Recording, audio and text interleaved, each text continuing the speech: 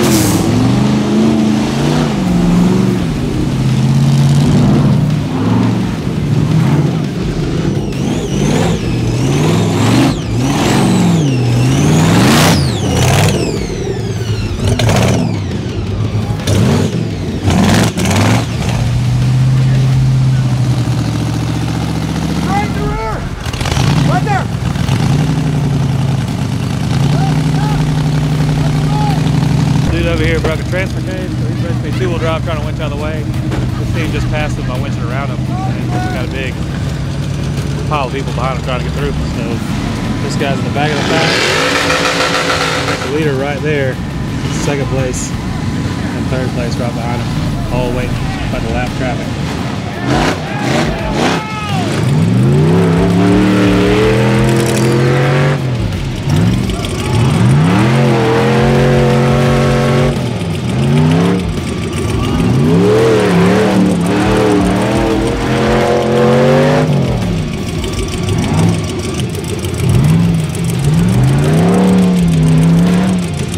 All right, we got broke guy out of the way, but now this guy's tried so many times behind him before he got out of the way that he's stuck. He got lap traffic waiting to get around him. Right here we got leader, Justin Haft in second, Matty Boot in third, but all lap traffic that. About 15 minutes into this trail blockage here. He's bro- broke his front locker, it's hung up. Winch is kind of working, but not really that well. This could take a while.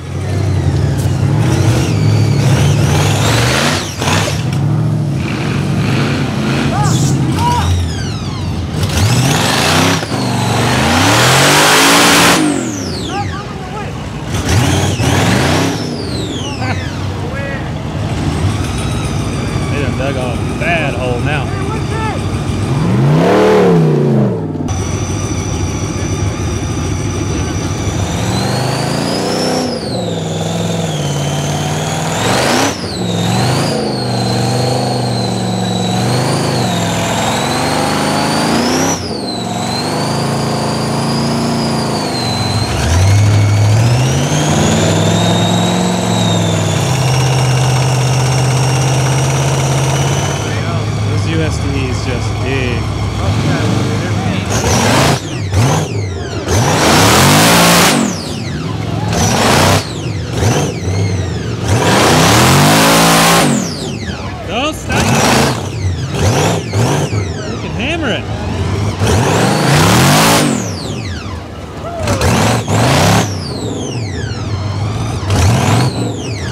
like we're about an hour in now. This guy's still trying to finish his first lap. He's in the back of the pack. We have the race leader right here behind him. You got second, third place, Justin Haft, Matty Moon. And uh, they're on their second lap. And no one can go anywhere because they've made this thing a nasty frozen mud hole. All right, they got them fairly out of the way. Now they're going to try to winch the line around.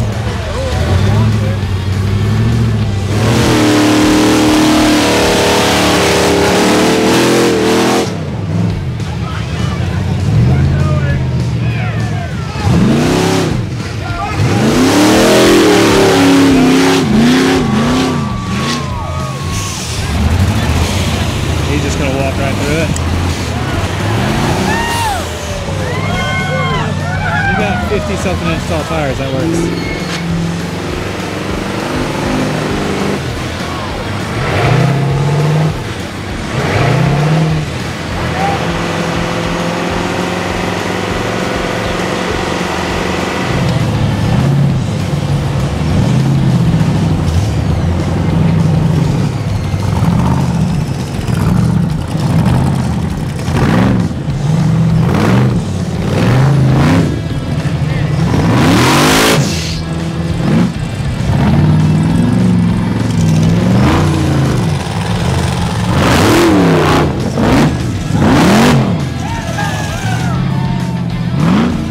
Go, folks, just like that. Just in Half.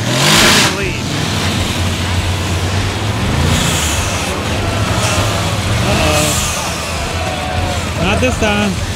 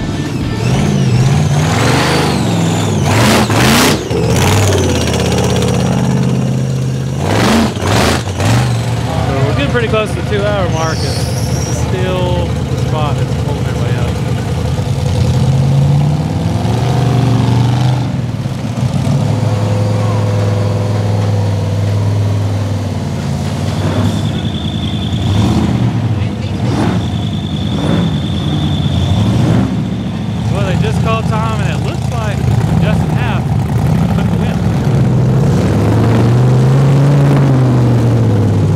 All right, here we go. The finals. We have eight of the top drivers finished from the first round. This is for all the glory right here. Fastest one to finish this takes the win. They got to run the same course as last time, plus the motocross track. And the motocross track hasn't even been ran yet, so it's got three feet of snow. So it should be pretty good. So pretty pumped. Justin Haft has done extremely well today so far in his uh, Busted Knuckle off-road built buggy. It's got a supercharged 427 LS in it. And uh, 46 USDs, that thing was getting after it. He's one heck of a driver too.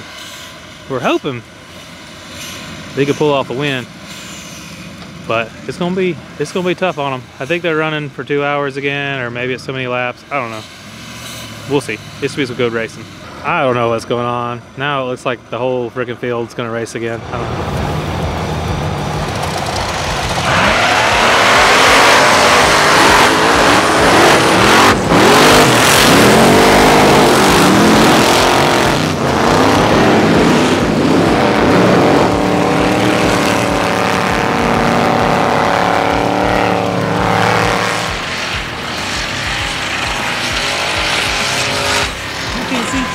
Sexta.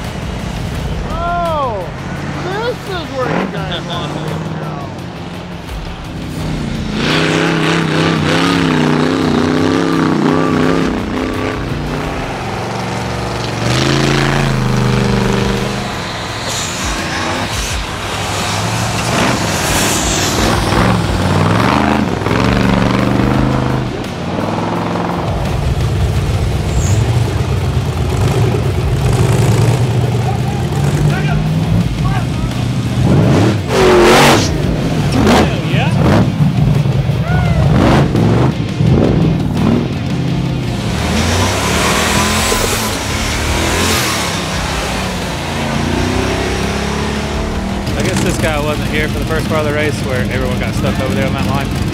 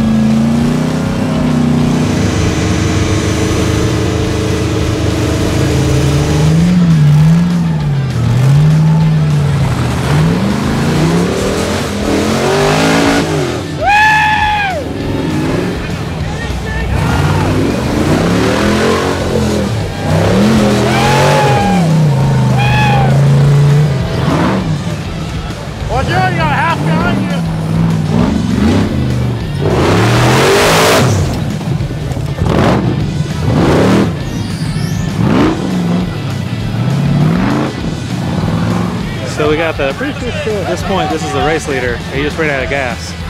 But luckily, a racer had a spare can right here just in case. And let him use it, because they're out.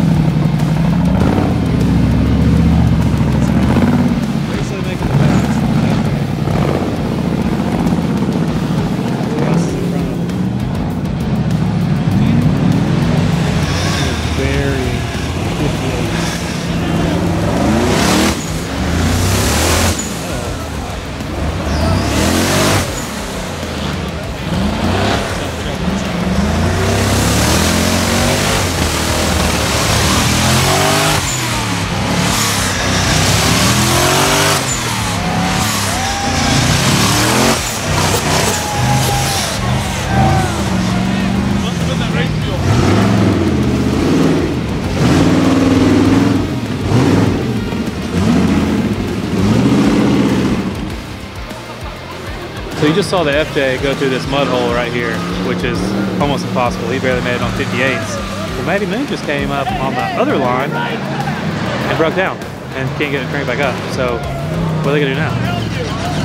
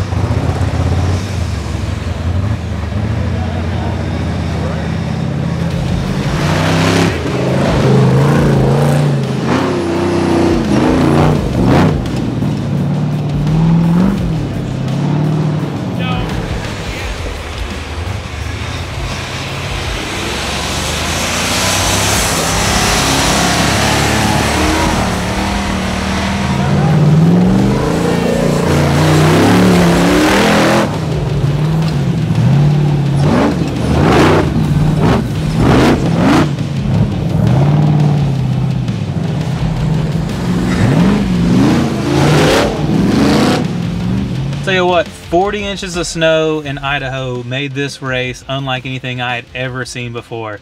Uh, the icing on the cake for me was definitely Justin Haft taking the win in his Busted Knuckle off-road built Crisis Rock Bouncer. That thing was working great all weekend long. Super happy that he took the win. Well, probably my favorite rig, the FJ40 on 54s portals and twin turbo.